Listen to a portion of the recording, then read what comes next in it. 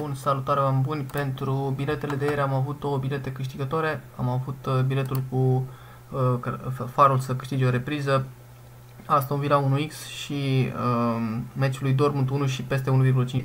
Aston Villa 2-1 a fost un meci foarte bun făcut de Aston Villa, ăsta a fost un meci și am mai avut pe celălalt, am zis că marchează Chelsea 1-3, a marcat 2, marchează farul, a marcat și am mai jucat și Frankfurt cu Mainz, am avut GG sau 3+. Pentru ziua de duminică vă propun următoarele bilete. Avem așa, avem meci din Germania, Leipzig cu, Frank, cu Bremen. Atenție, Bremen este cea mai ofensivă echipă cu cele mai multe meciuri de peste 2,5. În ultimele 10 meciuri Bremen a primit, uh, în toate a fost peste, au fost peste 2,5 goluri și în 9 dintre cele 10 meciuri a primit cel puțin 2 goluri.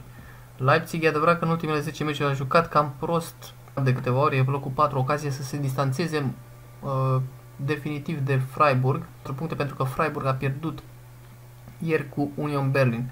Uh, deci astăzi Leipzig are o ocazie mare și cred că vor bate, are cotă mică, Bremen e mai slabă, a treia cea mai slabă defensivă. Dar având în vedere că Bremen în toate a fost peste 2,5 și 9 din ultimele 10 a primit 2 goluri, cred că și Leipzig astăzi se va trezi și va da goluri, deși are doar 12 în ultimele 10 etape.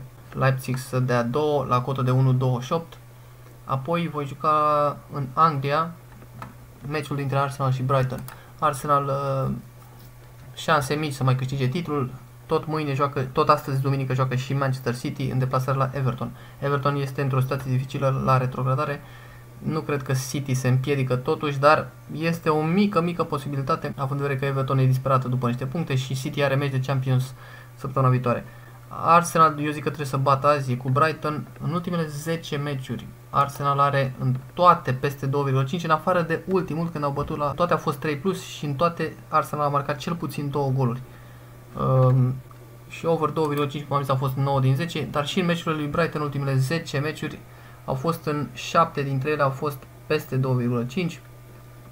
Brighton a făcut aceste ultime două meciuri ciudate în care a, a bătut 6-0 pe Wolves și într-un altul a pierdut un 5 cu Everton. Eu voi juca Arsenal marchează 2 plus goluri, peste 1,5 goluri Arsenal la 1,57. Uh, cred că merge jucat și uh, GG3 Plus sau chiar un pariu mai, mai îndrăzneț, un peste 3,5 la cotă 2,20.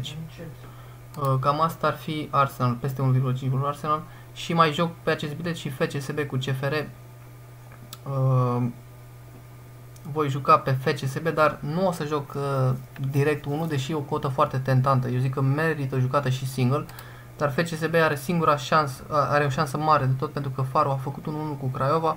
Uh, de acest lucru mai avea nevoie, chiar dacă uh, înainte de această etapă FCSB se spunea că trebuie să câștige toate meciurile, inclusiv la Farul, dar trebuie Farul să se mai împiedice și în altă parte. Farul s-a împiedicat, FCSB are ocazie mare să bată cu CFR Cluj, CFR a jucat dezastros, are 4 meciuri fără victorii cu goluri primite 3 goluri de la Sepsi, 3 de la Rapid, 1-1 a făcut Craiova în meciul de acasă, dar a jucat foarte slab. Eu zic că FCSB câștigă o repriză măcar la 1.50 pentru un pic a fi acoperit. Eu ca FCSB câștigă o repriză la 1.50.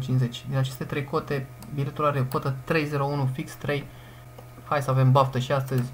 Și atenție, mai joc un marcator astăzi. Cred că Arsenal la, și Brighton va fi un meci foarte spectaculos.